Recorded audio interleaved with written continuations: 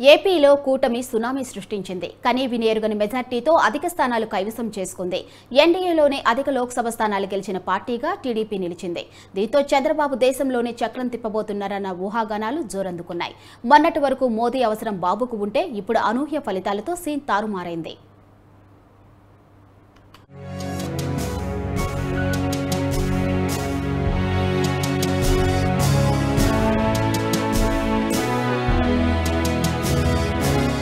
Telugu Desam party అధినేత చంద్రబాబు దేశంలోనే కీలక నేతగా మారనున్నారు. ఎన్డీఏలో అత్యధిక స్థానాలను సాధించిన పార్టీ అధినేతగా రాష్ట్ర సమస్యలను పరిష్కరించడానికి ఆయనకు మార్గం సుగమం అయింది.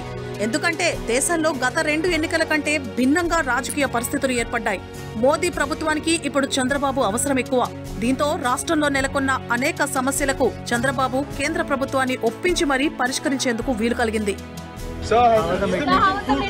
Sir, Sir, how was the meeting? Sir? Pledging support. Sir, how was the meeting? you're part of the NDA, sir. Sir, how was the meeting? Eh, How can we contest elections if you are not a part of NDA?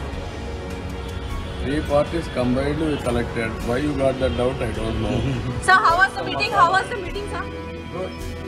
కేంద్రంలో BJP అధికారంలో ఉన్న TDP మద్దతు అవసరం తప్పనిసరిగా మారింది ఇక ఆంధ్రప్రదేశ్ రాజధాని అమరావతి నిర్మాణం పూర్తి కావడానికి కూడా మార్గం సుగమం అవుతోంది. అలాగే పోలవరం ప్రాజెక్టు నిధుల విషయంలో కూడా కేంద్రం నుంచి క్విక్ రెస్పాన్స్ వచ్చే అవకాశాలున్నాయి.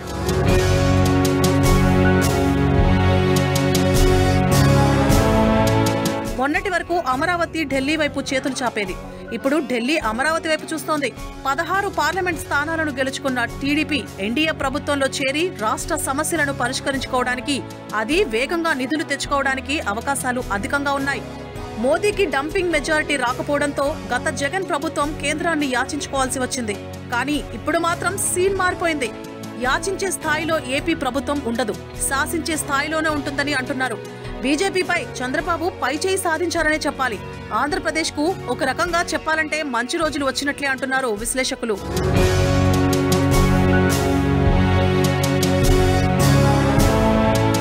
విభజనతో కుదేలైన రాష్ట్రాన్ని చంద్రబాబు తిరిగి ఎలా గాడిలో పెడతారో కేంద్రం నుంచి ఎలాంటి సహకారం తీసుకొని ఎటువంటి అభివృద్ధి చేస్తారనేది వేచి చూడాలి.